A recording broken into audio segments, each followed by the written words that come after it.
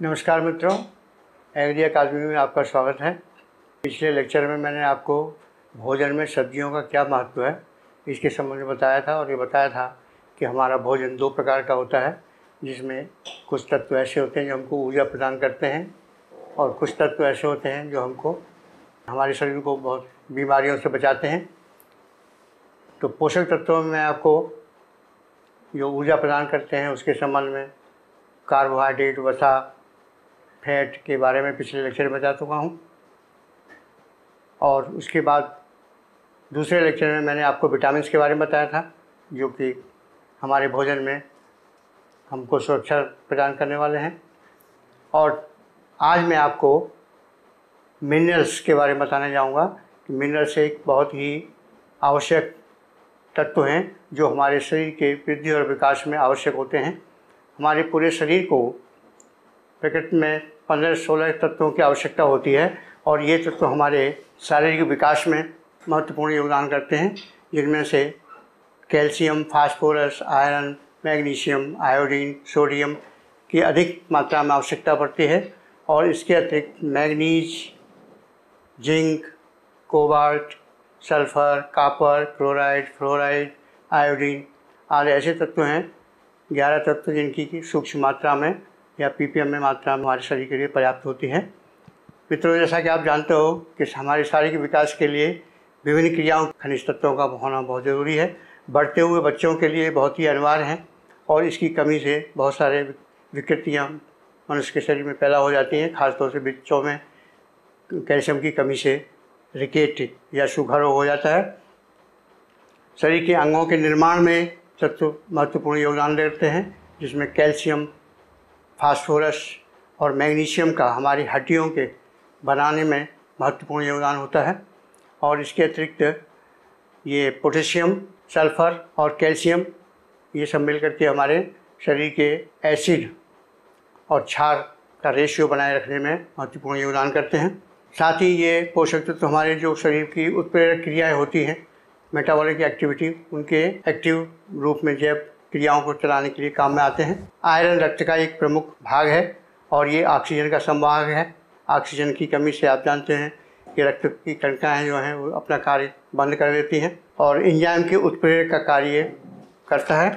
Zinc molybdenum copper, manganese और magnesium आदि ऐसे शरीर के पोषक तत्व हैं जो कि उत्प्रेरक का कार्य करते हैं।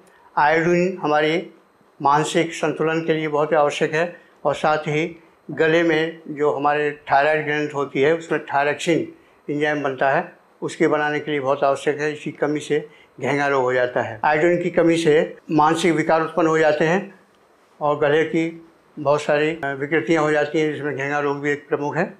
इसके बाद पोटेशियम और सोडियम शरीर में क्लोराइड, कार्बोनेट, सल्फेट, बाइकार्बोनेट जो आयन बन, निकलते हैं, उनसे मिलकर के जल, अम्ल और क्षार का एक अनुपात बना करके रखते हैं, जिससे कि हमारे शरीर की सारी एक्टिविटी ठीक प्रकार से चलती रहे। मानव शरीर के लिए 20 से 25 ग्राम खनिज तत्वों की प्रतिदिन की आवश्यकता होती है, और ये विभिन्न रूपों में शरीर से प्रतिदिन उत्सर्जित होते रहते हैं, और इनकी तत्वों की कमी हम सब्जियों से बड़ी सुलभता से पूरी कर सकते हैं, क्योंकि इसमें सब्जियों में प्रचुर मात्रा में पोषक तत्व पाए जाते हैं, खासतौर से खनिज लवण। बढ़ते हुए बच्चों के लिए उत्तकों के निर्माण उनके वृद्धि और विकास के लिए तत्वों की बहुत ही आवश्यकता होती है, जिनमें calcium, phosphorus, iron, magnesium, iodine और सोडियम आदि ऐसे छह प्रमुख तत्व हैं, जिनकी अधिक मात्रा में आवश्यकता पड़ती है। इसके अतिरिक्त manganese, zinc, potassium, chlorine, copper, fluoride, sulphate molybdenum chromium selenium ऐसे इसके साथ एक नया तत्व भी आया है, जिसका नाम है कोवाल्ट। इस तरह से कुल मिलाकर के सत्तर तत्वों की आवश्यकता होती है, जो हमारे शरीर में विभिन्न रासायनिक क्रियाओं में भाग लेते हैं। अब मित्रों, मैं बताना चाहूँगा आपको एक एक तत्व के बारे में संक्षेप में। पहला तत्व कैल्शियम। कैल्शियम तत्व हमारे शरीर में जो भी हमारा ढांचा है, हड्डियों का, इसके बनाने में, हड्डियों के बनाने में, दांतों के बनाने में, उनकी देखभाल करने में प्रमुख रूप से भूमिका निभाता है और इसकी कमी से बहुत सारे विकृतियाँ पैदा हो जाती हैं। जैसे इसी कैल्शियम की कमी से सूखा रोग या रिकेट बीमारी हो जाती है, मनुष्य में चिड़चिड़ापन हो जाता है, वृद्धि रुक जाती है और दांत में सड़न या उनका टूटना छड़न कमज़ोर हो जाते हैं दांत। पिजन चेस्ट डिज़ीज़ एक होती है, जिसकी वजह से हो जाती है, ब्लड क्लॉटिंग ठीक से नहीं हो पाती है।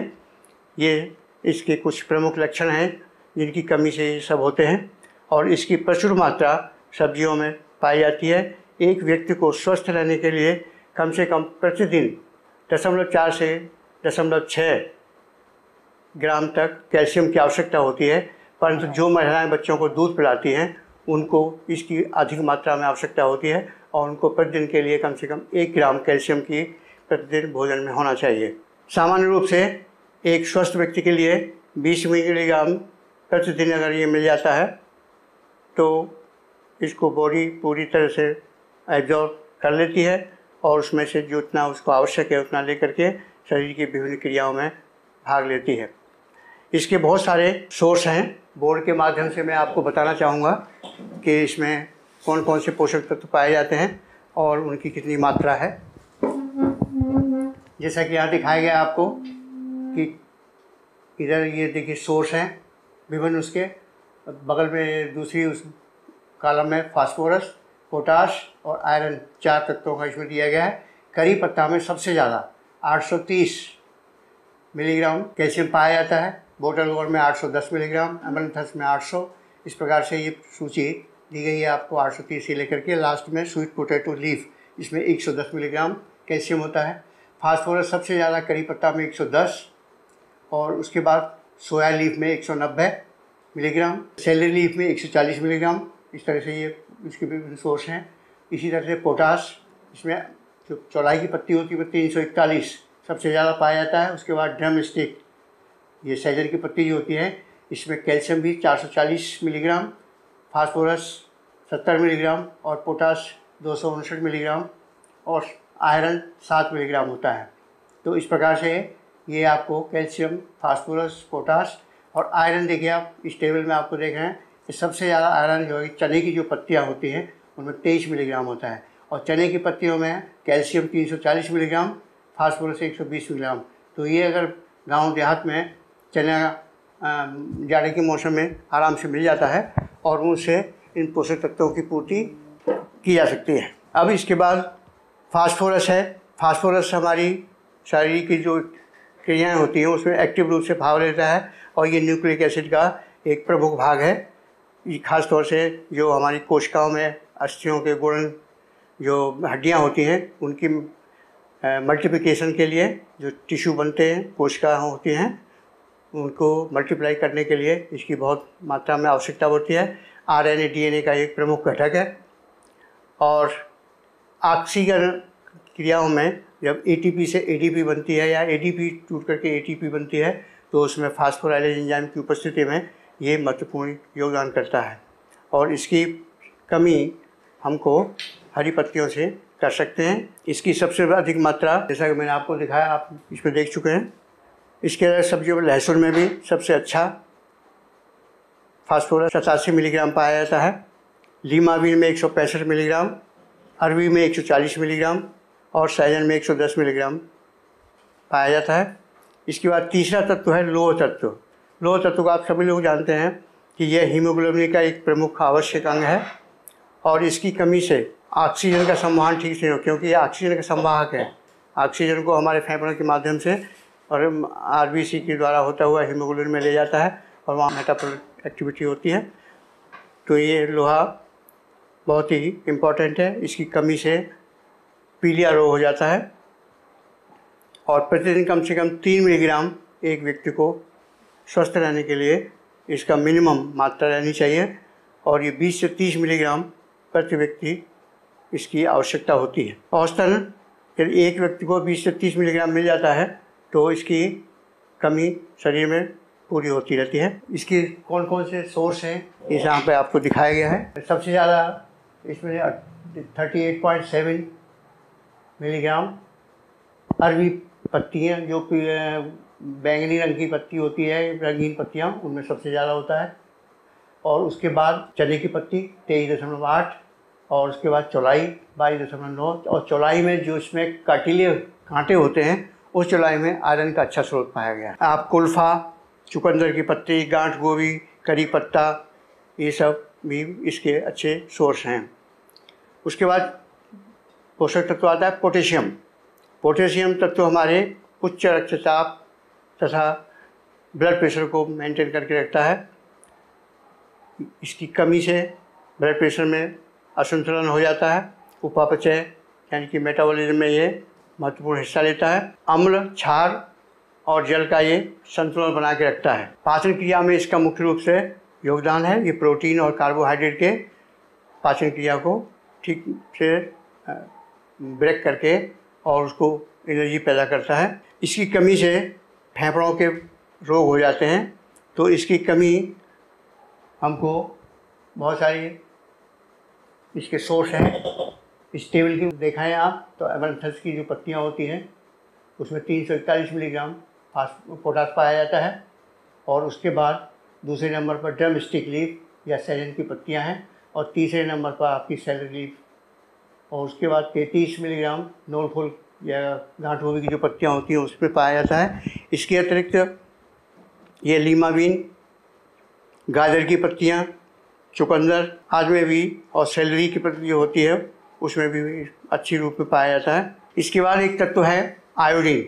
आयोडीन हमारे मानसिक विकास के लिए बहुत ही आवश्यक है और इसकी कमी से थायरक्सिन ग्रंथि ठीक से काम नहीं करती है, इसका घेंगा रोग हो जाता है। तो घेंगा रोग से बचने के लिए प्रतिदिन आयोडीन हमारे भोजन में होना चाहिए, जिससे कि कोई मानसिक विकार हमारे पैदा हो। इसका सबसे अच्छा स्रोत प्याज, भिंडी, सतावर, पत्तेदार सब्ज़ियाँ, इसमें लीफी वेजिटेबल और रूट वेजिटेबल, जैसे गाजर है, मूली है सलजम है, इसमें प्रचुर मात्रा में पाया जाता है और इसकी पूर्ति होती रहती है। उसके बाद आता है सोडियम। सोडियम, वैसे तो इसकी नमक हम प्रतिदिन खाते ही हैं, नमक हमारे मानसिक मस्तिष्क के लिए बहुत ही आवश्यक है। इससे मानसिक संतुलन बना रहता है। इसकी कमी से मनुष्य में बहुत सारे विकार उत्पन्न हो जाते हैं, जिसमें रक्तचाप असंतुलित हो जाता है। अगर ज़्यादा आप नमक खा लेंगे तो बीपी बढ़ जाता है। मानसिक स्वास्थ्य इससे ठीक रहता है। और कोशिकाओं के अंदर जो साइटोप्लाज्म होता है, उसकी प्रमुख घटक है। और कोशिकाओं को स्वस्थ रखने के लिए सोडियम का होना हमारे भोजन में बहुत ही आवश्यक है। ये सेल्स की मेम्ब्रेन परमिएबिलिटी को बढ़ाता है। जिससे कि उनका अवशोषण एक सेल से दूसरी सेल में आसानी से हो सके।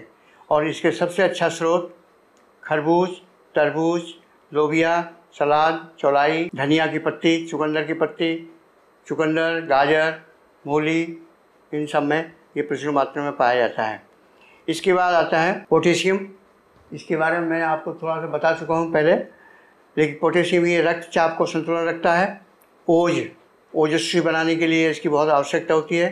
फैट और कार्बोज की मेटाबॉलिज्म में एक्टिव पार्ट करता है। अम्ल क्षार का बैलेंस बना के रखता है और कोशिकाओं के अंदर ऑस्मोटिक संतुलन को बनाए रखता है और इसकी कमी से बहुत सारे विकार उत्पन्न हो जाते हैं और इसका सबसे अच्छा स्रोत तरबूज, खरबूज, ककड़ी, गोभी के अलावा मैं आपको बोर्ड पे पहले बता चुका हूँ। बहुत सारे हैं। इसके बाद आता है एक तत्व, मैग्नीशियम। मैग्नीशियम तत्व हमारे हड्डियों और मांसपेशियों के लिए बहुत ही आवश्यक है। ये कैल्शियम और फास्फोरस के संतुलन को बना कर रखता है। और इसकी कमी से कार्डियो वैस्कुलर हो जाता है। और साथ ही जब इनका बैलेंस बिगड़ता है तो उसमें मधुमेह और आंतों के रोग भी उत्पन्न हो जाते हैं। तो हमको अगर मधुमेह से बचना है और आंतों के रोग से बचना है तो मैग्नीशियम हमारे भोजन में होना आवश्यक है, उसको हमें पर्याप्त मात्रा में लेना चाहिए। इनकी थोड़ी सी मात्रा लगभग 150 से 400 मिलीग्राम प्रतिदिन प्रति व्यक्ति की आवश्यकता होती है और ये हमको सबसे अच्छा स्रोत इसका हरी मिर्च है। हरी मिर्च में दो सौ तिहत्तर मिलीग्राम मैग्नीशियम पाया जाता है। इसके चौलाई में 122 मिलीग्राम, केल में 30 मिलीग्राम चुकंदर 64 मिलीग्राम, स्पिनाच में 92 मिलीग्राम। इस प्रकार से ये हरी सब्जियों में प्रचुर मात्रा में पाया जाता है। इसके बाद एक तत्व होता है सल्फ़र। सल्फ़र तत्व अमीनो एसिड का और जो अमीनो एसिड हमारे शरीर में बनते हैं, उनका एक मुख्य घटक है। हड्डियों के लिए निर्माण में और उत्कों के बनाने में इसका महत्वपूर्ण योगदान होता है।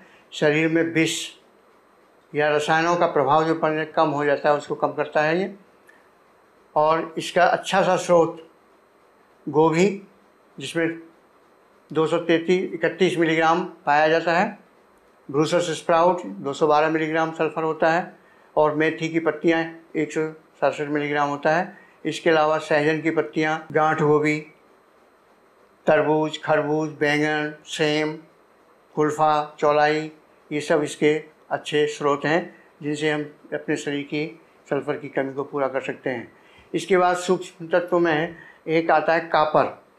कापर तत्व की बहुत ही आवश्यकता पड़ती है क्योंकि ये एंजाइम को सक्रिय रखने में महत्वपूर्ण भूमिका निभाता है और ये तंत्रिका तंत्र की सक्रियता को एक्टिविटी को बढ़ाए रखता है।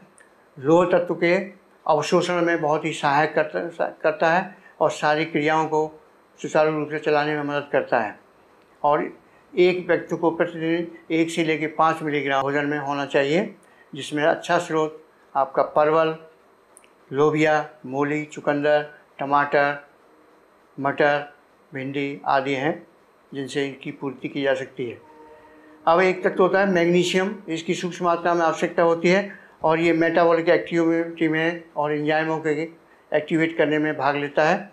ये इंजाइम का एक को फैक्टर की तरह काम करता है और हड्डियों के निर्माण में महत्वपूर्ण योगदान है इसका। वसा या फैट के और कार्बोहाइड्रेट के मेटाबॉलिक एक्टिविटी में इसका महत्वपूर्ण योगदान होता है। और उसकी कमी से हड्डियों में विकृतियाँ उत्पन्न हो जाती हैं। कभी कभी कैल्शियम, मैग्नीशियम और इनका रेशियो बिगड़ जाता है तो हड्डी टेढ़ी हो जाती है। इसका सबसे अच्छा स्रोत स्पिनाच स्पाइनेशिया और रेशिया जो विलायती पालक है, धनिया की पत्तियाँ हैं, लोबिया है, चौलाई है, चुकंदर की पत्तियाँ हैं सरसों की पत्तियाँ हैं, सेम है, चने का साग है, इसमें इसकी बहुत प्रचुर मात्रा में पाई जाती है। उसके बाद एक तत्व होता है क्लोराइड। क्लोराइड हमारे शरीर में यद्यपि बहुत कम मात्रा में आवश्यक होती है, परंतु ये बहुत ही महत्वपूर्ण है, क्योंकि इससे अम्ल और पित्त का अनुपात बनाए रखने के लिए महत्वपूर्ण है। ये कार्बोज के या कार्बोहाइड्रेट के मेटाबॉलिक एक्टिविटी को सुचारू रूप से चलाने के लिए बहुत ही आवश्यक है। और इसका सबसे अच्छा स्रोत मेथी, खीरा, चौलाई गांठ गोभी आदि हैं। इसके अलावा एक तत्व तो हमारे जिंक होता है, जिसकी भी बहुत कम मात्रा की आवश्यकता होती है, लेकिन ये बहुत ही महत्वपूर्ण है। इसकी कमी से गैस्ट्रिक, हमारे शरीर में जो गैस्ट्रिक जूस बनते हैं, उनके बैलेंस में इसका महत्वपूर्ण योगदान है।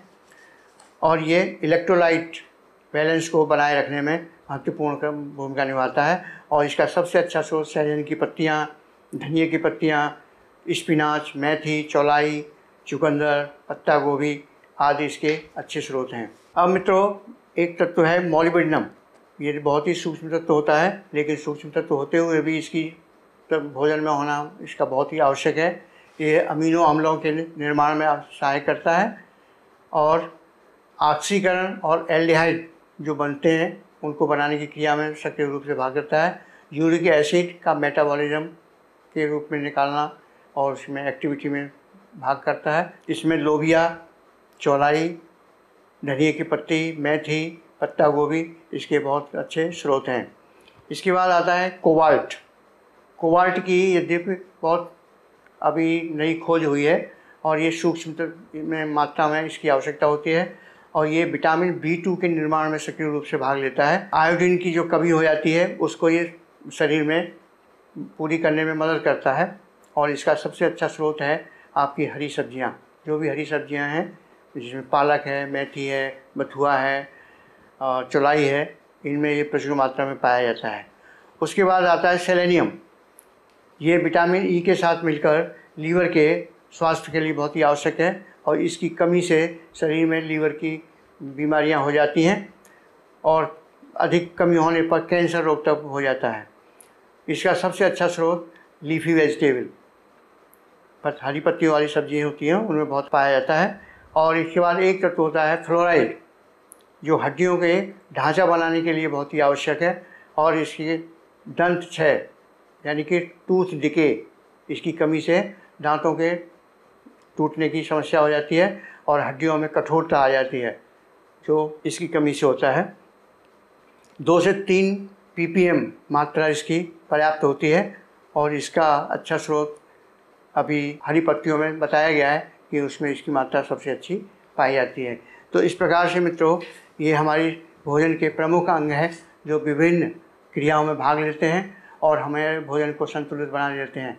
यदि हम प्रतिदिन कम से कम 300 ग्राम सब्ज़ी खाते हैं तो 300 ग्राम सब्ज़ी खाने से हमको 120 मिली ग्राम सब्ज़ी, पत्ते वाली सब्ज़ी होनी चाहिए, जिससे हमारी भोजन में एक बैलेंस बना रहता है। और 90 ग्राम सब्ज़ी हमारी कार्बोज जो ऊर्जा देने वाले हैं, उसकी होनी चाहिए और 90 ग्राम प्रोटीन वाली होनी चाहिए। इस तरह से हम अगर बैलेंस रूप लेकर के चलते हैं सब्जियों का तो हमारे शरीर की जो पोषक तत्वों की आवश्यकता होती है, वो पूरी होती रहती है। तो आज मैं मित्रों इतना ही बताऊँगा आपको। आशा है आप, आज का लेक्चर आपको पसंद आया होगा और यदि आपका कोई प्रश्न है अथवा सुझाव है तो आप नीचे डिस्क्रिप्शन में दिए गए लिंक पर मेल कर सकते हैं और भविष्य में एग्रीकल्चर से संबंधित जानकारी के लिए एग्री अकाडमी को सब्सक्राइब करें। धन्यवाद।